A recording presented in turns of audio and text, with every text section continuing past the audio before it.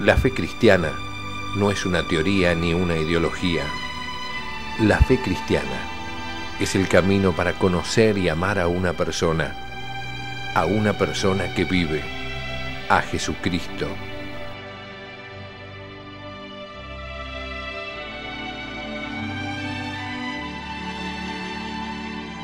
La fe cristiana, un curso del Instituto de Formación Teológica por Internet que quiere ayudarte a crecer en el amor a Jesús, nuestro Señor.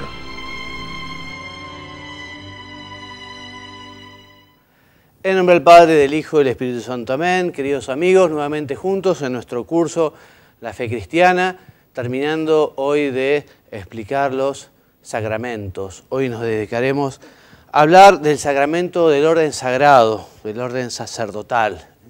La verdad que son muchas las cosas que vamos a decir, así que iré un poco rápido. De todas maneras, como ustedes saben, estos contenidos los pueden encontrar en oraciones y devociones.info o en la plataforma Moodle de encuentra.com. Al final les voy a decir bien las direcciones, pero vamos a ir rápido. Y si alguna cosa queda en el tintero, bueno, después ustedes tienen tarea para la casa y profundizar un poquito.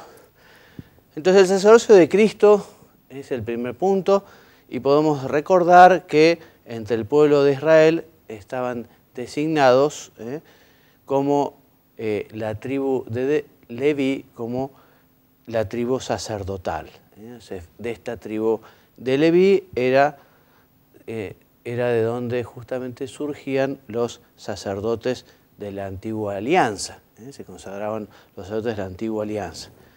Y con un rito de unción se les confería la función en favor de los hombres en lo que se refiere a Dios para ofrecer dones y sacrificios por los pecados de los hombres. Entonces, como elemento de la ley mosaica, este sacerdocio es, digamos, una introducción a una esperanza mejor, ¿eh? sombra de los bienes futuros, más de por sí no puede nunca, mediante unos mismos sacrificios que se ofrecen sin cesar año tras año, dar la perfección a los que se acercan, dice San Pablo en la carta a los hebreos, hablando ya de este nuevo sacerdocio que surgirá justamente con la venida de Jesús. Por eso decimos que el, sacerdocio levítico prefiguró de algún modo en el pueblo elegido ya la plena realización del sacerdocio de Jesucristo. Bueno, y pasamos al punto 2, el sacerdocio en los apóstoles y en la sucesión apostólica. Recordamos que Jesús nos deja el sacramento del sacerdocio en la última cena, ¿eh? cuando efectivamente adelanta sacramentalmente su sacrificio en la cruz, ¿eh? la primera, adelanta sacerdotalmente, ¿eh? sacramentalmente lo que sea la primera misa, la misa es la renovación incruenta del sacrificio de la cruz, y cuando a los apóstoles les dice, haced esto en conmemoración mía, ¿eh? justamente los estaba nombrando sacerdotes para la realización de este sacrificio. ¿eh? Dice San Juan en su capítulo 17, como tú me has enviado al mundo, yo también los he enviado al mundo, y por ellos me santifico a mí mismo para que ellos también sean santificados en la verdad. ¿eh? Bueno, esta consagración sacerdotal a los apóstoles Jesús las fue haciendo en sucesivos pasos. ¿no? En primer lugar, podemos decir, cuando los llama, los elige, cuando efectivamente ellos responden a esa vocación y los constituye como un colegio. Luego les, los instruye y los envía a predicar. También Jesús les confiere el poder de perdonar los pecados y les confía la misión universal. ¿eh? ¿Se acuerdan? Mateo 28, la ascensión, ir por todo el mundo y predicar el Evangelio y bautizar a todos en nombre del Padre y del Hijo y del Espíritu Santo. ¿no? Y después en este especialísimo momento, lo decíamos un ratito, que es en la última cena, ¿eh? como lo dice San Pablo en su primera carta a los Corintios, ¿eh? haced esto en memoria mía. Allí los invita a los apóstoles a realizar este nuevo sacrificio o el sacrificio de la nueva alianza. Con esta misión apostólica ellos fueron confirmados plenamente en el día de Pentecostés. ¿eh? Los apóstoles fueron consiguiendo, por llamarlo de alguna manera, colaboradores o cooperadores de su labor y fueron consagrando, digamos, a otros obispos, ¿eh? a otros sucesores suyos, que continuaron con la labor apostólica que les había asignado nuestro Señor. Dice el Concilio Vaticano II en la Lumen Gentium número 20 que los obispos, junto con los presbíteros y diáconos, recibieron el misterio de la, de la comunidad para presidir sobre la grey en nombre de Dios como pastores, como maestros de doctrina, sacerdotes del culto sagrado y ministros dotados de autoridad.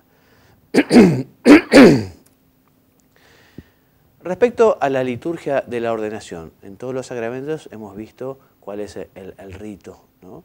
sé si ustedes habrán asistido alguna vez a alguna ordenación eh, sacerdotal, una ordenación episcopal. Bueno, existe una, liturgia, eh, existe un rito, eh, que es lo que les voy a recordar ahora, leyendo fundamentalmente lo que dice el catecismo. El catecismo en su número 1574 nos dice que en el rito latino, los ritos iniciales son la presentación y elección del ordenado. Luego la alocución del obispo, el interrogatorio del ordenado, pues se les pregunta, las letanías de los santos, que habitualmente, como están en la foto allí, eh, los candidatos al sacerdocio o al episcopado están postrados, ¿eh? con la frente así en el suelo, como signo de amor, de, amor, de reverencia a Dios. Entonces, durante las letanías de los santos, que ponen de relieve que la elección del candidato se hace conforme al uso de la iglesia, y preparan el acto solemne de la consagración. Después de estos varios ritos viene a expresar y completar de manera simbólica el misterio que se ha realizado. En el obispo, la unción con el santo crisma, ¿eh? que es signo de la unción especial del Espíritu Santo que hace fecundo su ministerio. ¿eh? También se le entrega el libro de los evangelios, el anillo, la mitra, el báculo, en señal de su misión apostólica, de anuncio de la palabra de Dios, de su fidelidad a la iglesia, esposa de Cristo, de su cargo de pastor del rebaño del Señor. Al presbítero se le entrega la patena, la patena sobre donde va la hostia, ¿eh? la patena, el cáliz, donde va el sándwich, o el vino que se convertirá en la sangre de Cristo, la ofrenda del pueblo santo, que es llamado a presentar a Dios, y la entrega de los libros de los evangelios. Y al diácono, pues ya veremos, el, orden sagrado ¿eh? tiene tres grados, el episcopado, el presbiterado y el diaconado. Entonces, el diácono. Acaba de recibir la misión de anunciar el Evangelio de Cristo. ¿eh?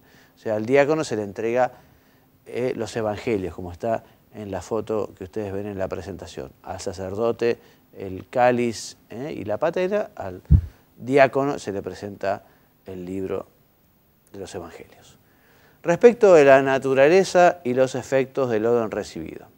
Entonces, mediante el sacramento del orden se confiere una particular participación en el sacerdocio de Cristo un sacerdocio que es esencialmente diferente al sacerdocio común de los fieles. ¿eh? La iglesia es un pueblo sacerdotal, todos los bautizados de alguna manera participan del sacerdocio de Cristo, pero el sacerdocio común de los fieles es esencialmente distinto al sacerdocio ministerial, ¿eh? al sacerdote que es un hombre sacado entre los hombres para ser mediadores entre Dios y los hombres. ¿eh? Entonces, es propio y específico del sacerdocio ministerial ser una representación sacramental de Cristo, cabeza y pastor, lo que permite ejercer la autoridad de Cristo en la función pastoral de predicar y de gobernar y obrar in persona Christi, eh, especialmente en la Santa Misa, especialmente en la confesión, yo te absuelvo tus pecados, cuando el sacerdote dice yo te absuelvo, quien está perdonando es, es Cristo, ¿no? Bien, entonces eh, representa a Cristo cabeza, que subsiste siempre en el ministro cuya alma ha sido sellada con el carácter sacramental. Es uno de los tres sacramentos que imprimen carácter, junto con el bautismo y la confirmación. Ese carácter justamente nos da una peculiar configuración con Jesucristo. Ese carácter es el efecto principal del sacramento, que siendo realidad permanente hace que el orden no pueda ser ni repetido, ni eliminado, ni conferido por tiempo ilimitado. Es para siempre. ¿eh? Por eso enseña el catecismo, un sujeto válidamente ordenado puede ciertamente, por causas graves, ser liberado de las obligaciones y las funciones vinculadas a la ordenación, o se le puede impedir ejercerlas, pero no puede convertirse de nuevo en un laico en sentido estricto, ¿eh? porque el carácter del sacramento permanece para siempre. ¿eh? Entonces el orden en cada uno de sus grados confiere además, dice el catecismo, la gracia del Espíritu Santo propia de este sacramento. ¿eh? Cada sacramento tiene una gracia sacramental, lo sabemos, ¿no? Y el sacramento del orden confiere justamente al candidato la gracia de vivir especialmente su ministerio, en el cual es configurado con Cristo sacerdote, maestro y pastor, de quien el ordenado es constituido ministro. Entonces, esta ministerialidad es tanto don como tarea. ¿Eh? Pues el orden se recibe en vista del servicio a Cristo y a los fieles que en la iglesia conforman su cuerpo místico. ¿eh? Más específicamente, para el obispo, ¿eh? el don recibido es el espíritu de gobierno que diste a tu amado Hijo Jesucristo, y él a su vez comunicó a los santos apóstoles. Para el presbítero se pide a Dios el don del Espíritu para que sea digno de representarse sin reproche ante tu altar, de anunciar el Evangelio de tu reino, de realizar el ministerio de tu palabra de verdad, de ofrecerte dones y sacrificios espirituales, de renovar tu pueblo mediante el baño de regeneración, de manera que vaya al encuentro de nuestro gran Dios Salvador Jesucristo. Y en el caso de los diáconos, ¿eh? con la gracia sacramental, en comunión con el obispo y su presbítero, sirven al pueblo de Dios en el ministerio de la liturgia, el ministerio de la palabra y el ministerio de la caridad. ¿eh? Los grados, ¿eh? ya les hemos dicho que los grados son tres, episcopado, presbiterado, diaconado. El diaconado, el presbiterado y el episcopado conservan entre sí una relación intrínseca como grados de la única realidad sacramental del orden sagrado recibidos sucesivamente en modo inclusivo. A su vez, ellos se distinguen según la realidad sacramental conferida y sus correspondientes funciones en la iglesia. Por ejemplo, el episcopado es la plenitud del sacramento del orden, ¿eh? llamado en la liturgia de la Iglesia y en el testimonio de los santos padres, supremo sacerdocio o cumbre del ministerio sagrado. ¿Eh? A los obispos se les confía justamente el ministerio de la comunidad para presidir sobre la grey y en nombre de Dios, como pastores, como maestros de doctrina, como sacerdotes del culto sagrado y ministros dotados de autoridad.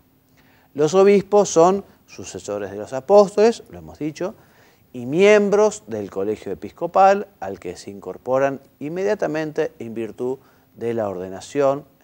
Conservando la comunión jerárquica con el Papa, cabeza del colegio, y con los demás obispos.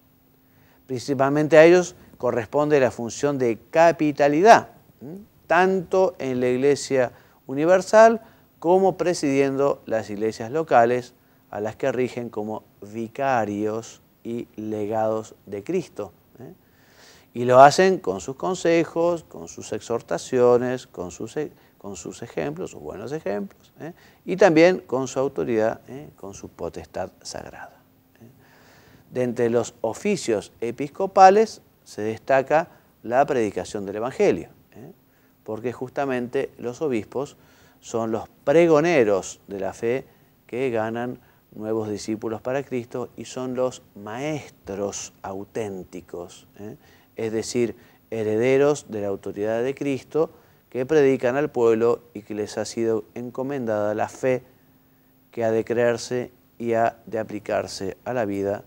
Y cuando enseñan en comunión con el romano pontífice, deben ser respetados por todos como testigos de la verdad divina y católica. ¿eh? Finalmente, como administradores de la gracia del sacerdocio supremo, son los obispos los que moderan con su autoridad la distribución sana y fructuosa de los sacramentos. ¿eh? Ellos regulan la administración del bautismo, por medio del cual se procede, se concede la participación en el sacerdocio regio de Cristo. Ellos son los ministros originarios, o los ministros ordinarios también, del sacramento de la confirmación, recordémoslo. También son los dispensadores de las sagradas órdenes, o sea que el ministro ordinario del sacramento del orden es el obispo.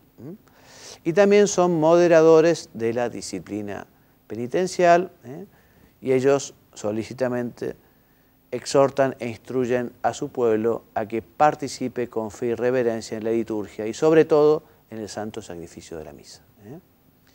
Respecto a los presbíteros, ¿eh? los sacerdotes, bueno, ellos han sido instituidos por Dios para que, siendo ministros, tuvieran el poder sagrado del orden para ofrecer el sacrificio y perdonar los pecados y desempeñar públicamente en nombre de Cristo la función sacerdotal en favor de los hombres. A ellos, a ¿eh? los presbíteros, a los sacerdotes, se les ha confiado la función ministerial en grado subordinado a la del obispo, constituidos en el orden del presbiterado ¿eh? como cooperadores del orden episcopal para el recto cumplimiento de la misión apostólica. Ellos, ellos, los presbíteros, los sacerdotes, participan de la autoridad con la que Cristo mismo forma, santifica y rige su cuerpo, y por el orden sacramental recibido quedan marcados con un carácter especial que los configura con Cristo sacerdote de tal forma que pueden obrar in persona Christi capitis, en la persona de Cristo cabeza. ¿eh? Especialmente visible cuando dice tomad y comed, esto es mi cuerpo, en la Santa Misa, o yo los perdono, o yo te perdono del Padre, el Hijo y el Espíritu Santo. ¿eh? Y particularmente el sacerdote es Cristo. Los sacerdotes entonces forman junto con su obispo un presbiterio dedicado a diversas ocupaciones y desempeñan su misión con un contacto permanente eh, con los hombres, con sus fieles. Más concretamente, los presbíteros tienen como obligación principal anunciar a todos el Evangelio de Cristo para constituir e incrementar el pueblo de Dios, cumpliendo el mandato del Señor, ir por todo el mundo y predicar el Evangelio a toda criatura. Esta función suya de los presbíteros está centrada en el culto eucarístico o comunión, ¿eh? en la cual en persona Christi, repetimos, y proclamando su misterio, juntan con el sacrificio de su cabeza Cristo las oraciones de los fieles representando y aplicando en el sacrificio de la misa hasta la venida del Señor el único sacrificio del Nuevo Testamento, a saber, el de Cristo, que se ofrece a sí mismo al Padre como hostia inmaculada. Ello va unido al ministerio de la reconciliación, ¿eh? el ministerio de la reconciliación, el sacramento de la penitencia, el sacramento de la confesión, ¿eh? el, sacrificio, el sacramento del alivio, ¿no? Que ejercen para los fieles arrepentidos o enfermos. ¿eh? El sacrificio del alivio es el, sacramento del alivio es el sacramento de la unción de los enfermos. ¿eh? Las personas mayores de edad, a las personas que tienen alguna enfermedad, se les da este sacramento para prepararlos para ese paso fundamental ¿eh? que tienen que dar.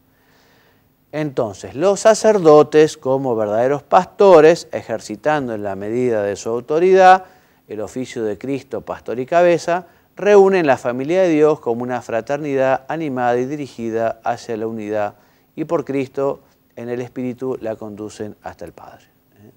Los diáconos, el tercer grado, episcopado, presbiterado, diaconado.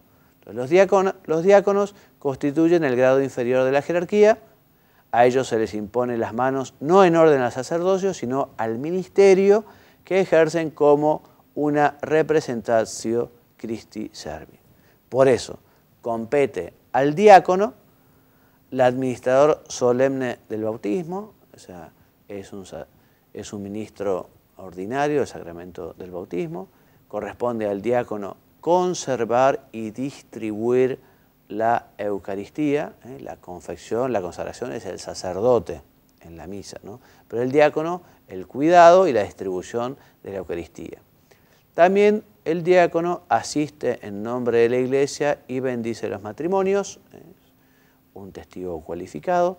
Lleva el viático, el viático es la comunión que reciben los que están en los últimos momentos, eh, los que están moribundos.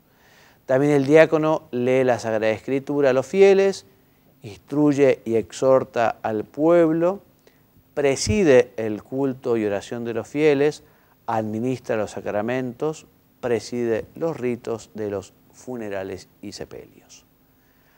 Muy bien, punto número tres, ministro y sujeto del sacramento del orden sagrado. Entonces, la administración del orden en sus tres grados, episcopado, presbiterado, diaconado, está reservado exclusivamente al obispo, lo hemos dicho. ¿eh?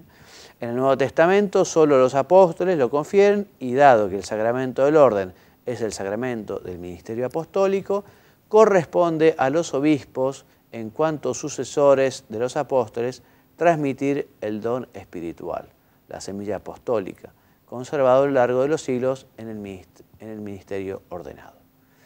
Entonces, para la licitud de la ordenación episcopal, o sea, para que sea lícita la ordenación de un obispo, se requiere en la Iglesia Latina un explícito mandato pontificio. ¿eh? Tiene que tener la venia de la Santa Sede. ¿eh?